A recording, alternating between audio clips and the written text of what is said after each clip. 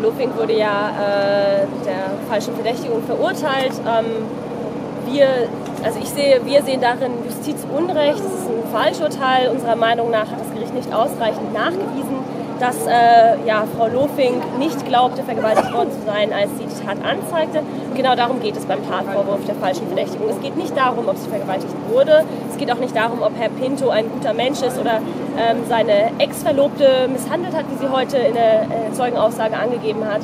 Es geht darum, was Frau Lofink glaubte, als die Anzeige erstattete. Und wenn man sich dann den Hintergrund ähm, der Geschichte der Tatnacht vor Augen führt, wenn man vor Augen führt, dass es eben dieses Video gibt, was viele Menschen gesehen haben und von dem viele Menschen sagen, sie haben darin eine Vergewaltigung gesehen, es ist zumindest nachvollziehbar, dass Frau Lofink glaubte, vergewaltigt worden zu sein. Äh, und damit ist zumindest ein Freispruch in dubio pro äh, zu ergehen. Und das ist nicht passiert. Ähm, das passiert aber, dass Fehlurteile ergehen. Also nur wegen diesem Urteil ist sie jetzt nicht schuldig. Und es ist gut möglich, dass sie Rechtsmittel einlegt, das Rechtsmittel der Berufung steht ihr frei und dass dann in der nächsten Instanz das Urteil aufgehoben wird. Es ist nicht der erste Fall in der Justizgeschichte der Bundesrepublik Deutschland, dass ein, eine Berufungsinstanz das Urteil des, des, der ersten Instanz aufhebt. Das passiert mit gewisser Regelmäßigkeit tatsächlich.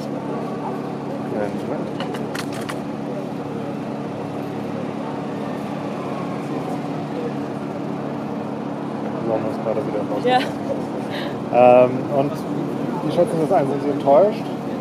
Ja, ich bin enttäuscht, ich bin auch sauer. Es, es empört mich, dass, ähm, ja, dass sie jetzt verurteilt wurde. Natürlich mh, hm, war ich nicht ganz gutgläubig und habe nicht wirklich an einen Freispruch geglaubt, weil ich weiß, wie das Verfahren ähm, in den letzten Verhandlungstagen abgelaufen ist. Und ähm, meines Erachtens ähm, wird das Verfahren rechtsstaatlichen Grundsätzen nicht gerecht. Also ähm, es gibt viele Kommentare der Richterin, die wirklich hart an der Grenze der Geschmacklosigkeit waren und auf eine gewisse Vorverurteilung schließen lassen.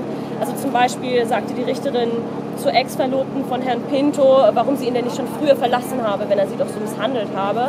Das zeigt, ähm, dass die Richterin ja keine Vorstellung davon hat, dass es andere Beziehungen mit Problemen und Konstellationen gibt, die von ihrer heilen Welt eher abweichen anscheinend und sie wenig Vorstellung von Realitäten sexualisierter Gewalt hat. Ja. Ähm, trotzdem ist es jetzt so, dass die Gesetzgebung äh, geändert wird. Äh, wir kriegen ein neues Sexualstrafrecht.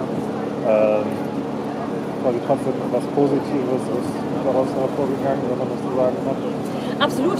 Also ich begrüße die, die Implementierung des Prinzips Nein heißt Nein ins deutsche Strafgesetzbuch absolut. Das, das tun wir alle. Das haben viele Menschen, Männer und Frauen, ähm, jahrzehntelang gefordert. Gleichzeitig ist es ein bisschen traurig. Äh, also wir, wir, sehen es mit einem Lachen in einem weinenden Auge, weil ähm, diese Gesetzesreform auch rassistisch motiviert war. Das ist eine Reaktion auf die Vorfälle ähm, in Köln ganz offensichtlich. Und mit dieser Reform ähm, wurde zum Beispiel auch ein neuer Straftatbestand geschaffen, der die äh, sexuellen über, sexuelle Belästigung aus Gruppen heraus äh, kriminalisiert. Du nochmal, weil ja. Gar kein Problem. Die würde ich fragen, nochmal stellen. Ja. ja. Ja, also, also wir haben neues Sexualstrafrecht wir begrüßen die Implementierung des Prinzips Nein heißt Nein ins deutsche Strafgesetzbuch absolut. Ähm, das ist eine Forderung von, von Feministen, Männern und Frauen seit Jahrzehnten bereits. Unser, die Reform war, war lange, lange überfällig. Unser Sexualstrafrecht war bis dahin wirklich mittelalterlich. Gleichzeitig sehen wir das auch mit einem weinenden Auge, weil äh, diese Reform rassistisch motiviert war unserer Einschätzung nach. Und mit der Reform wurde auch ein neuer Straftatbestand geschaffen, die äh, sexuelle Belästigung aus Gruppen heraus. Und das zielt ganz eindeutig auf, auf Geschehnisse wie Köln ab. Ähm, hinzu kommt, dass Frau Lofing natürlich nicht von der Reform profitiert. Die, die Gesetzesverschaffung kann man ja nicht rückwirkend äh, anwenden. Das widerspricht dem Prinzip des Rechtsstaates. Und zugleich ist damit immer noch nicht die Istanbul-Konvention vollständig umgesetzt. Also alle führen ja immer die Istanbul-Konvention in dem Zusammenhang an.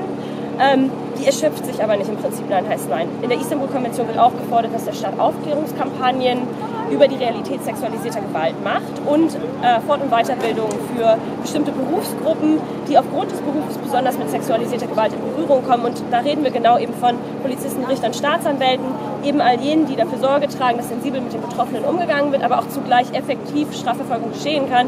Und wir sehen gerade bei dieser Richterin, ja, etwas mehr Informationen über die Realität sexualisierter Gewalt hätte vielleicht einem besseren Verfahren geholfen. Ähm, was ziehen Sie heute für ein Fazit Ihrer persönlichen äh, Aktion, also was heißt ja Ihre Aktion als Gruppe äh, hier in den letzten Tagen und Wochen? Wir hätten uns gewünscht, dass wir mehr Menschen über einen längeren Zeitraum hätten mobilisieren können. Ähm, bei der ersten Demonstration waren ja zu Höchstzeit etwa 400 Menschen da. Ähm, das ist natürlich unglaublich schwierig für so einen langen Zeitraum, so einen starken Protest aufrechtzuerhalten, insbesondere wenn der Protest an einem Wochentag zu Arbeitszeiten in der Ferienzeit stattfindet. Nicht alle haben es immer geschafft, äh, auf der Arbeit frei zu bekommen zum Beispiel. Und ähm, was auch bedauerlich ist, ist, dass ähm, viele Menschen, und das ist mein Eindruck, dass viele Menschen glauben nun nach der Reform des Sexualstrafrechts sich entspannt zurücklehnen zu können. Ähm, aber mit der Reform ist nicht alles gelöst. Ähm, auch das beste Sexualstrafrecht schützt nicht, wenn es ausblickend angewandt wird von Menschen, die an ja, völlig stereotype äh, Vergewaltigungsmythen glauben, wie wir das bei Frau Lofing sehen.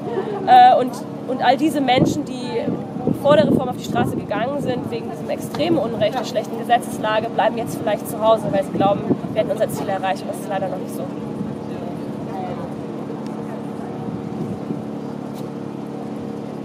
Und äh, gibt es noch was, was Sie hinzufügen möchten, ich was vergessen, möchten Sie was loswerden?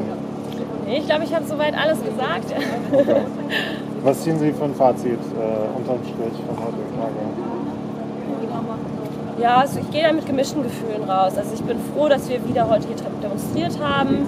Ich bin froh, dass Frau Lufing gesehen hat, dass wir sie nicht allein lassen, auch nach der Reform nicht. Ähm, und ich hoffe, dass sie äh, für der Berufung entscheidet. Aber ich verstehe, würde es auch aus persönlichen Gründen verstehen, wenn sie sagt, das ist zu belastend, das möchte ich mir nicht nochmal antun.